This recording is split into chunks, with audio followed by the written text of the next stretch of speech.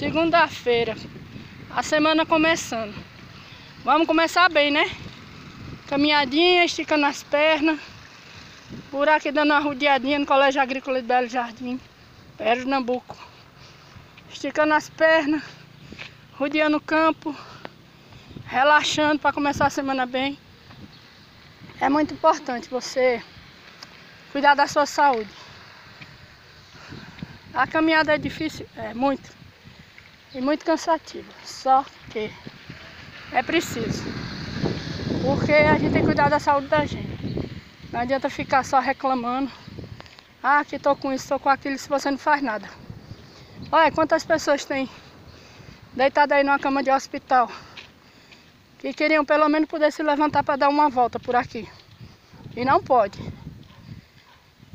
Porque tem a diferença de você não poder fazer alguma coisa e você não querer. Algumas pessoas não podem, não têm condição de se levantar da cama que estão doentes. Já outras não querem se levantar da cama porque estão com preguiça. Mas é preciso vencer a preguiça. Sacudir a poeira e se levantar. E agir. Deus é bom demais. Ah, Deus é muito bom.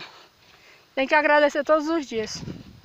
Só da gente se levantar, abrir os olhos, já tem que agradecer a Deus. Que é uma benção a vida. Então a partir do momento que você se levanta e abre os olhos, agradeça ao Senhor. Obrigado, Senhor. Amém. Por mais um dia de vida que me deste. E pela oportunidade de fazer as coisas, né?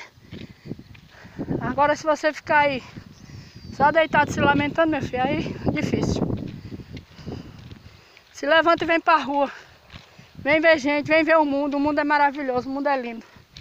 Muita coisa para ser vista.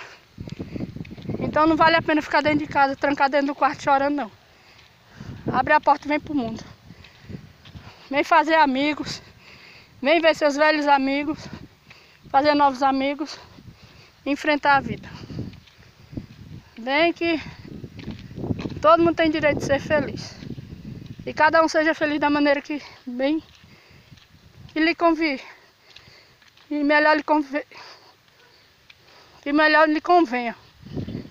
Pois estou por aqui caminhando. Vamos embora. E só relaxando, relaxando e caminhando. Vem-se embora caminhar comigo. Chega!